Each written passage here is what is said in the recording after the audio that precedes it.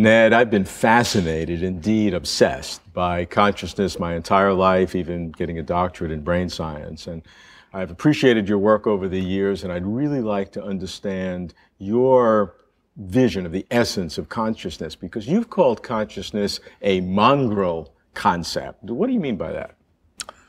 What I mean is that there are different concepts of consciousness, and I don't think you can understand the essence of consciousness without distinguishing among these different concepts. Um, maybe a good place to start is, one, is with one of the traditional conundra, the inverted spectrum hypothesis.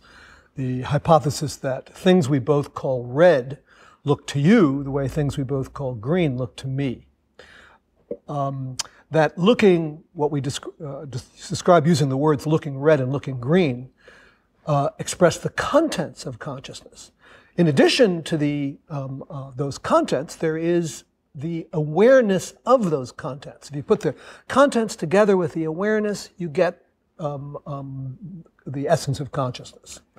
Um, the, but in order to really understand what that putting the content together with the awareness comes to, you have to distinguish between consciousness in the sense in which it's the combination of that content and the awareness from anything involving noticing you're, you're in a conscious state or having a thought about your conscious state or reflecting on it or anything like that. Um, so, for example, um, sometimes you um, uh, will be having a conversation and you'll notice at some point in the conversation that there's some background noise, a hum, uh, maybe a fan. Sometimes you notice it when it goes off. Um, but sometimes when you notice it, you also notice that you have been hearing it all along. And you realize that you've been hearing it all along and you haven't noticed it. Sometimes, for example, the, um, you, you made your voice louder to overcome it. Okay, it's that, it's that um, uh, content with the awareness of it that you had before you noticed it that is the essence. So you were having that content all along with the awareness of it, a kind of primitive awareness of it, and then you noticed it. Noticing it added something. Maybe it changed the phenomenology, but before you noticed that there was a basic form of consciousness. That's what I think that the neuroscientists who study consciousness are mainly studying or trying to study. Um, and the noticing is something else. It's a big problem in the understanding consciousness is to distinguish that noticing from what came before it, which is the primitive, basic, what I call phenomenal consciousness. So you've talked about uh, um, uh, phenomenal consciousness and you've talked about access consciousness. Uh, right. How do these two articulate with the, uh, the, the awareness and the content? Okay, so phenomenal consciousness is this basic thing that I'm talking about. Um, in addition, we um, sometimes can report and reason about our conscious states. Um, Freud talked about unconscious states. Now, he didn't commit himself on whether those unconscious states, maybe states that had been repressed, might have been phenomenally conscious. So his way of thinking in terms of um, the unconscious conscious distinction allowed for a rather strange possibility, which is a phenomenal state that the subject doesn't have access to because yeah. of repression. Yeah. And that, I think, illustrates an important distinction between the phenomenal and cognitive access.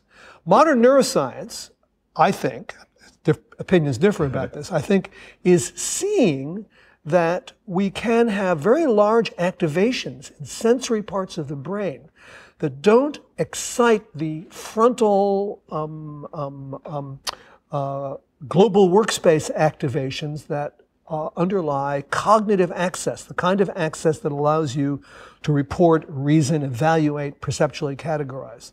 So the phenomenal consciousness is this very basic kind of consciousness that doesn't require um, noticing it. Access consciousness brings that phenomenal consciousness into what is called the global workspace, a space where it's available to all the cognitive apparatus one has. Um, and those are just different things.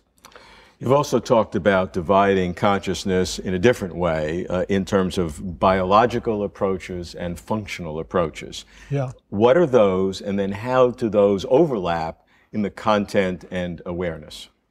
Okay, I think that the this basic primitive biological, um, uh, basic primitive phenomenal consciousness is something we share with lower animals, certainly lower mammals.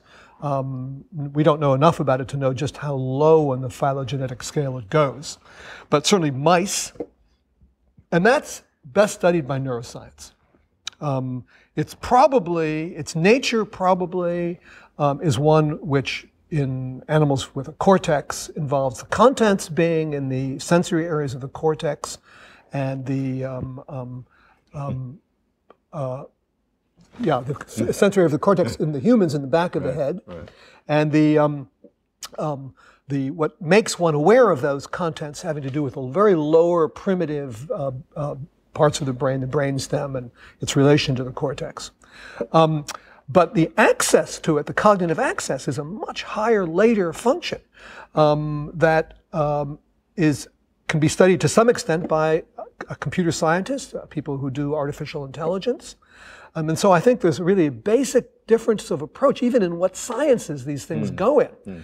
The primitive phenomenal consciousness is, a, is really sm- uh, smack in the middle of biology, whereas the more cognitive aspects, like the rest of the cognitive mind, um, can be understood in a more functional, brain independent way and studied by computer scientists. And, and when you say brain independent, that means that the, you're, you're, you're, interested in the function per se, and it doesn't matter the substrate on which it happens. Exactly. It can be a wet piece of meat in our head, or it can be a, yeah. a, a, whole array of silicon in a computer. Exactly. We have reason to think that the, those, hmm. those functions can be reproduced in different creatures, and there will be no significant mental difference between, the, between what goes on in the different creatures.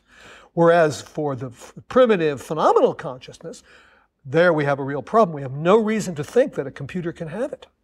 That's a very controversial subject, of course. Yes. Uh, let's talk about that because the famous Turing test is put forth that you are very familiar with. You've been a judge in it and you've written on it.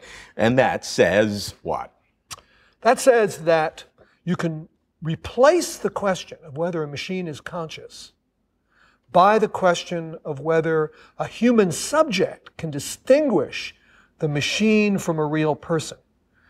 Um, so this, you know, Turing proposed this. Turing was mesmerized by his own uh, success in replacing questions about um, um, um, algorithmic computation with questions of uh, computation by a certain kind of machine that he defined, a, a, a, Turing machine. And so he thought the way to be scientific about any question was to replace it with a more scientific question. The trouble is, as we have discovered empirically, even though of course we could have discovered it not empirically, um, the issue of whether people can tell the difference between a machine and a person depends um, uh, inevitably on how much the person knows. If you have a rather naive person, they won't be able to tell the difference between a very simple program, one that just, one of these question answering bots of the sort you can find on the web, and a real person. And um, um, the other side of it is that uh, someone who knows how, uh, even if we could make an intelligent machine, someone who knows how it's programmed, um, uh, would probably be able to tell the difference between it and, uh, and a person. So it, the Turing test fails in both directions. I once um, uh, made a, a, hypothetical machine, which is um, um, uh, often called the blockhead. If you, there's, an, eh, there's a Wikipedia entry on blockhead. Read um, it. and it, um, and I have no idea who wrote it, but it's pretty accurate. At least the, the one, uh, those entries are always changing, but the last one I saw. So this was a hypothetical machine that um, uh, had all conversations of a certain length recorded in it. And the idea is that the machine could uh, converse with you um, just as with a, uh, uh, as well as a person, even though it was just a bunch of, it was just a jukebox.